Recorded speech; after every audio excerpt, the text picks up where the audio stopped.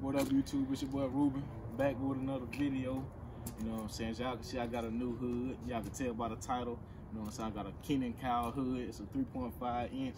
You know what I'm saying? There you go. Got a new hood. That's about it. Yeah, YouTube, I'm finna crank it up and let y'all hear this cold start. You know what I'm saying? By the way, go ahead and subscribe to the channel, man. Turn on y'all notifications. You know what I'm saying? I got a new bump on the way. You know what I'm saying? I'm gonna get my car painted. You know what I'm saying? Basically, I'm gonna be rebuilding my car. You know what I'm saying? Get some new wheels, new tint, all that. So just stay tuned. You know what I'm saying? Turn on y'all notifications. And that's about it.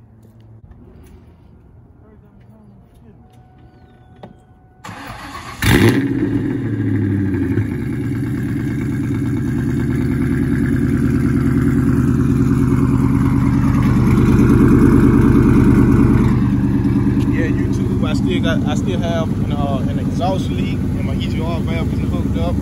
Uh, I'm finna go to a shop right now and uh, get all that fixed. So hopefully, you know what I'm saying, it'll sound better and be back to the original sound. That's about it.